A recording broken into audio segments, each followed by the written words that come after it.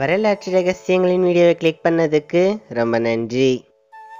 இந்த வீடியோவில் நம்ம என்ன பார்க்க போகிறோம் அப்படின்னா பெருமாளுக்கு நம்ம ஏன் முடிக்காணிக்கை செலுத்துகிறோம் இதுக்கு பின்னாடி ரொம்பவும் அருமையான ஒரு வரலாறு ஒன்று இருக்குது என்ன அப்படின்னா லக்ஷ்மி தேவியை பிரிஞ்சதால் லக்ஷ்மி தேவியை நோக்கி சீனிவாச பெருமாள் தவம் செய்கிறாரு திருமலையில் ஸ்ரீனிவாச புத்துக்கு கீழே அமர்ந்து மகாவிஷ்ணு தவம் செய்கிறாரு அப்போது சிவபெருமானும் பிரம்மதேவரும் பசுவாக மாறி பெருமாளுக்கு பால் கறந்துட்டு இருந்தாங்க.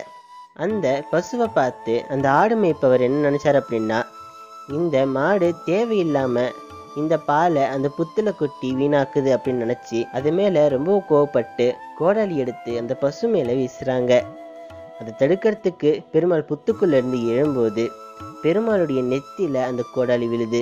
அப்போ பெருமாளுடைய தலையிலிருந்து ரத்தம் வருது. அவருடைய முடி கொஞ்சம் போயிடுச்சு. அந்த இடத்துல ரத்தமும் வந்துட்டு இருக்கு அதுக்கப்புறமா நீலாதேவி அப்படின்ற ஒரு பெண் அவங்க மகாவிஷ்ணுவுடைய பக்தியா இருந்தாங்க. அந்த பெண் பெருமாளை பார்க்கறதுக்கு வராங்க.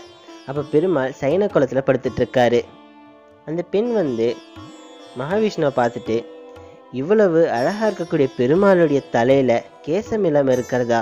ரொம்ப ரொம்ப தவறு. நான் ஏன் கேசத்தை தரேன் அப்படின்னு அந்த பெண் அவங்களோட கையாலேயே அவங்க முடியை வச்சு பிடுங்குறாங்க. அதை பெருமாளுடைய தலையில் வச்சுட்டு என்ன சொல்கிறாங்க அப்படின்னா நான் வச்ச பக்தி உண்மை அப்படின்னா அந்த கேசம் பெருமாளுடைய கேசமாக மாறணும் அப்படின்னு கேட்ட உடனே அதுவும் பெருமாளுடைய கேசமாக மாறுது. அப்போது பெருமாள் கண் விழித்து பார்க்குறாரு பெருமாளுக்கு முன்னாடி நீலாதேவி அப்படின்ற பெண் தலையில் ரத்தத்தோடு நின்றுட்டுருக்காங்க. அதை பார்த்துட்டு பெருமாள் முதல்ல அவங்களோட காயத்தை சரி பண்ணுறாங்க நீலாதேவி கிட்ட பெருமாள் என்ன சொல்கிற அப்படின்னா எனக்காக நீ உன் கேசத்தையே கொடுத்துட்ட. ஒரு மனிதனுக்கு முடி அப்படின்றது உயிர் மாதிரி. அதையே நீ எனக்கு காணிக்க கொடுத்துட்ட.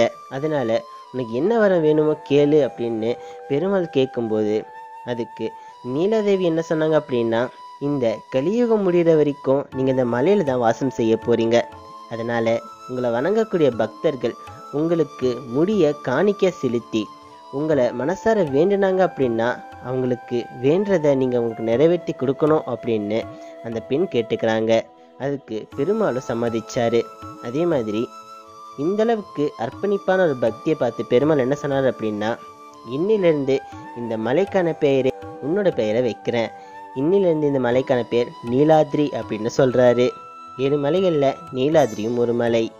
இதனால தான் நம்ம பெருமாளுக்கு தலைமுடியை காணிக்க செலுத்துகிறோம் உயிருக்கு ஒப்பான ஒன்று முடி அப்படின்னு சொல்லப்படுது. அதனால தான் பெருமாளுக்கு எதையும் யோசிக்காம முடி காணிக்கை கொடுத்து வேண்டக்கூடிய பக்தர்களுக்கு அவங்களோட காரியம் சித்தி பெறுது.